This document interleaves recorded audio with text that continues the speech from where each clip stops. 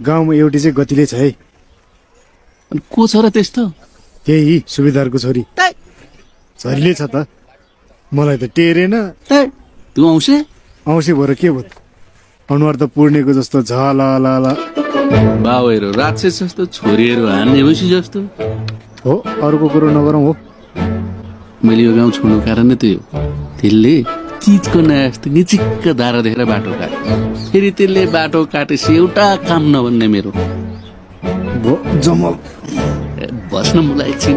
जम भो बल्ल बल्ल भेटबास बस्न। के?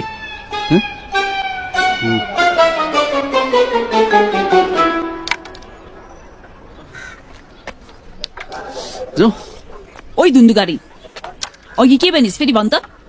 जाँड खाएको कुरो बिर्सियो। This is just the.